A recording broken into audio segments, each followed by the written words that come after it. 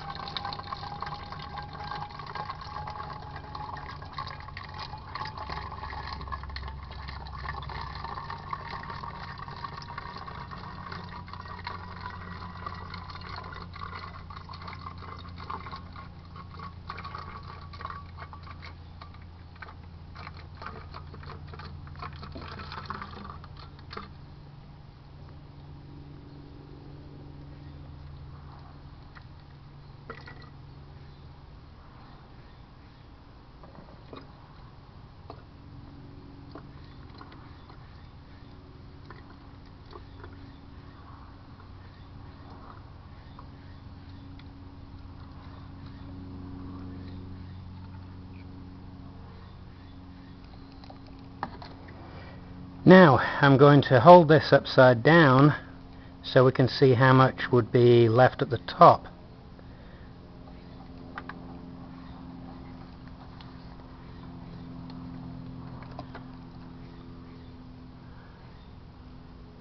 That's about the sort of air gap um, I have when it's in the HH-ometer sleeve and when I let the bubbles come out of the bottom I think I've got a pretty accurate one litre of gas there. So I'm going to put this back in the uh, beaker and see how much, if anything, I lost.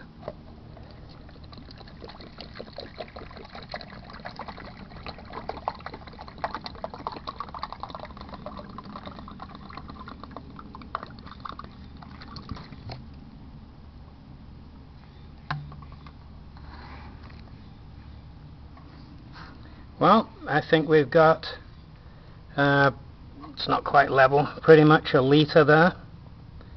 May have lost a tad, but it's not much.